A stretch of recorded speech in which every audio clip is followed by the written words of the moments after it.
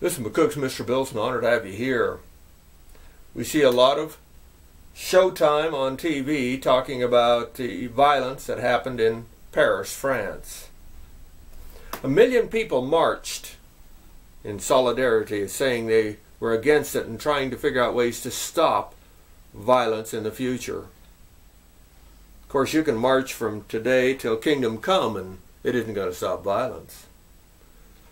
And meeting violence with violence only escalates the problem most of the time.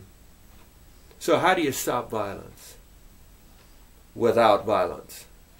We've already done it. It's not my idea, it's already been done. We had a religion of hate over here in the United States that thought that only its race was the right race, and they basically had Hitler as their god in the United States called themselves the Klan and different organizations within. We broke that religion of hate. Didn't do it with the government. We didn't do it with violence. We did it in the courtroom and with a lawsuit. The lawsuit. We financially devastated that organization Oh, there's a few splinter groups around, and even in McCook we got a few.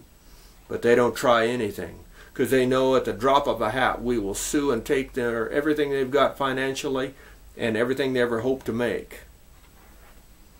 They fear the lawsuit, and so they behave themselves. It's that simple.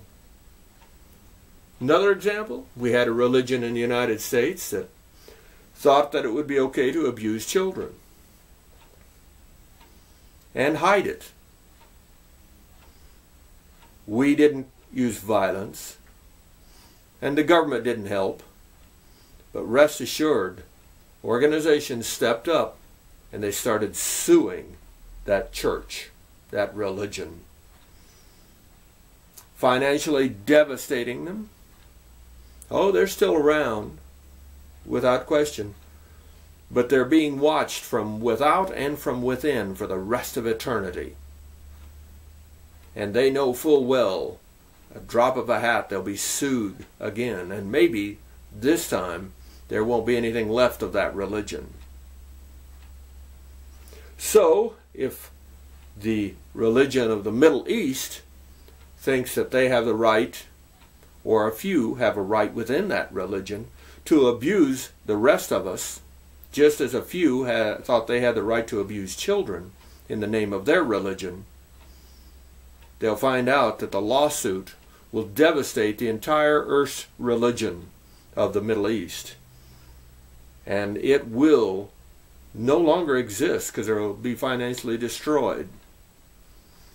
They want to pay not billions of dollars, but a trillion dollar lawsuit. I said the T word, trillion dollar lawsuit. A religion is only as powerful as you let it be. And in a courtroom, though, everybody's equal. And if you can prove misdeeds, that religion or anything a part of that religion will bring down the whole house of cards. Now you know how to stop violence in the future from any religion rate this film.